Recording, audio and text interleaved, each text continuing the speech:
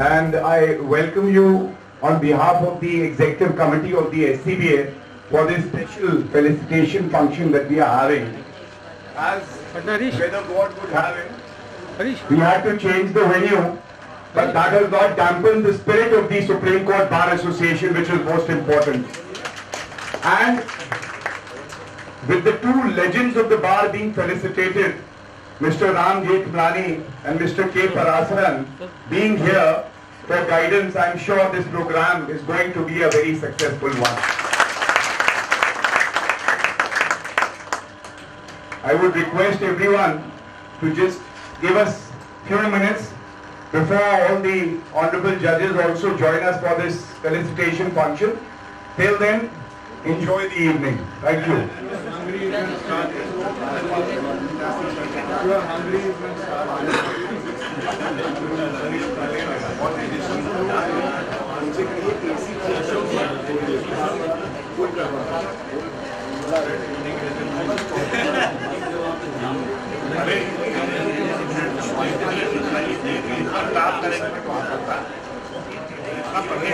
It's like taking a risk. We go there and then suddenly it rains again. I think we'll have it here. So you are used to taking risks.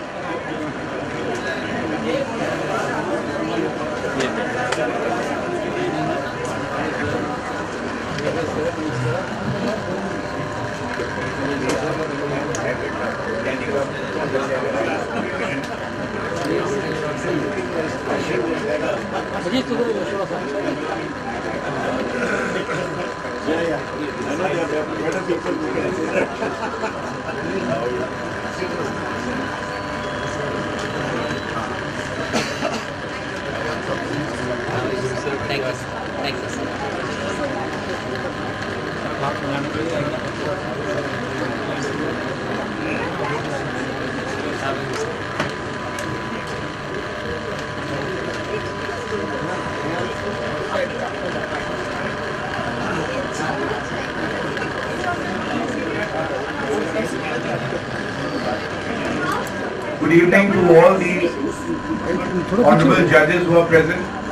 Honorable Chief Justice of India, Justice. Thakur, Honorable Justice K.R., Honorable Justice Gora, Honorable Justice Khanwilkar, and Honorable Justice uh, Joseph ji, all the esteemed senior advocates, and two legends of the bar, people we admire, people we have learned from.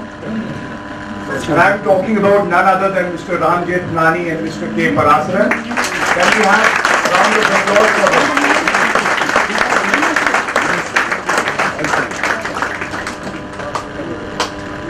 We gather to bid farewell to honorable judges very often. And the feelings are mixed. But the good part about this function is that the feelings are all full of joy. And we know that these people are integral part of the bar and they will continue to guide us to greater heights. With that, I first request the Vice President, Mr. Ajit Sinha, to kindly present a bouquet to Honorable the Chief Justice of India, Justice T.S. Thakur, please.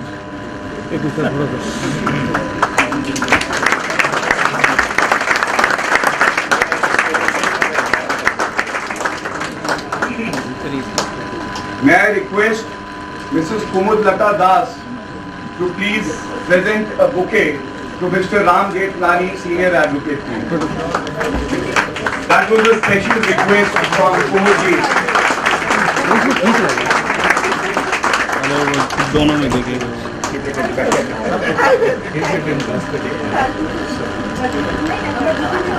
Now may I request है भी घुमा Mr. P.P. Rao, who's been former president of the bar, he is also with us. Sir, please, would you present the bouquet on behalf of the bar to Mr. K. Parasaran, senior advocate.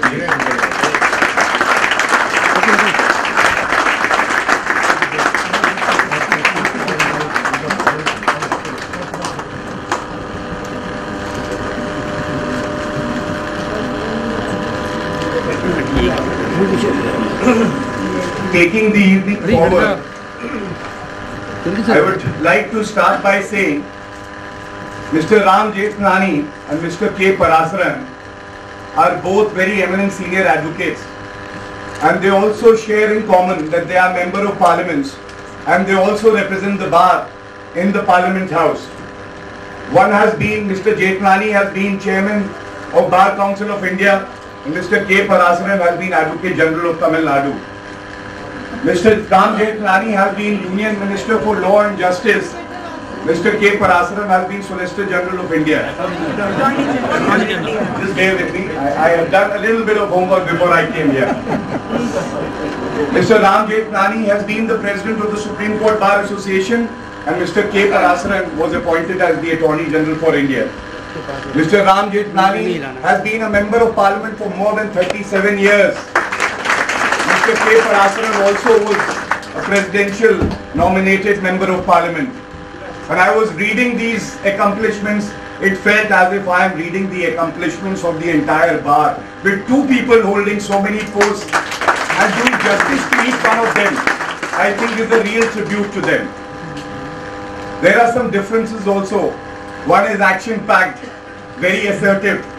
The other is very calm and composed. Nevertheless, both are equally persuasive, brilliant lawyers that we've seen and we've learned so much from them.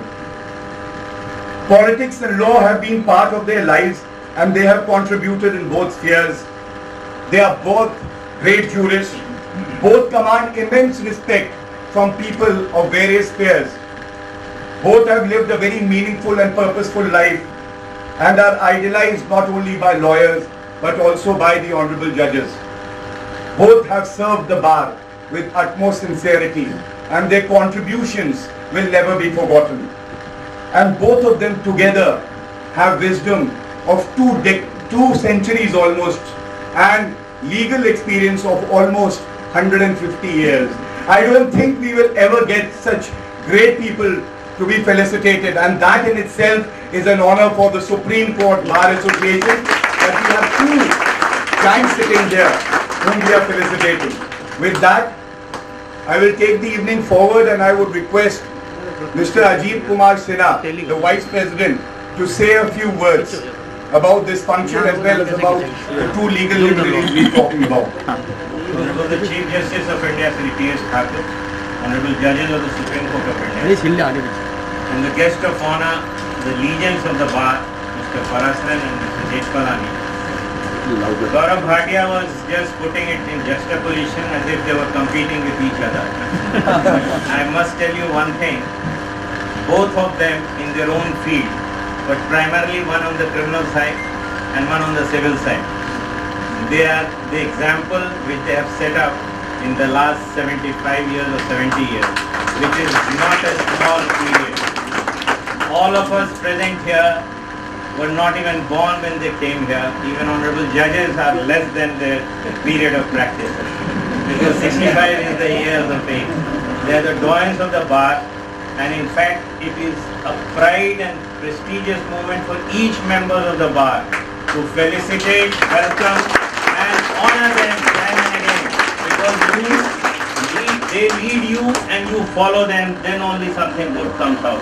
I always say that whenever such a situation comes, each and every member of the bar should be present to heartily reciprocate this feeling of honor because you are part of the system and they are the lead example. I once again thank all of the members of the bar who are in such a great position that to be present here to felicitate and welcome our two leaders. I have some experience with Mr. Parasaran because I was his office junior and I want to share it. When I passed out from Campus Law Center, I straight away entered his room. He was a learned Attorney General for India.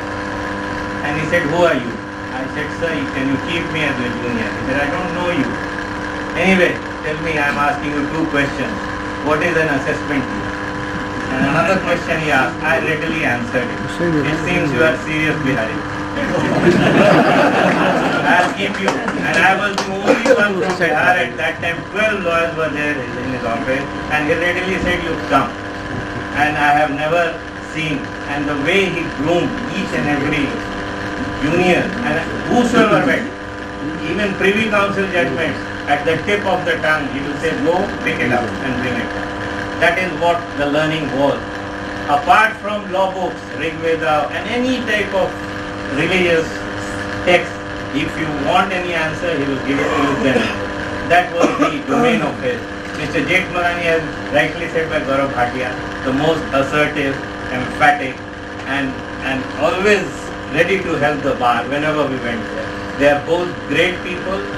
Be that as it may, 75 years at the bar itself is a great thing to be honored and felicitated. I thank all of you to be present today and we heartily welcome them and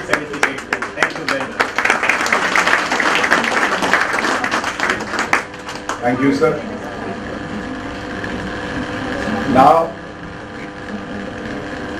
before the function, I spoke to Mr. Mr. Ashok Desai, sir, another legend of the bar, someone we look up to. And I requested him, sir, that we are too young to share experiences that have taken place. But Mr. Ashok Desai has also contributed immensely, and I'm sure that he must have shared a lot with Mr. Ram Jethmalani and Mr. K. Parasaran.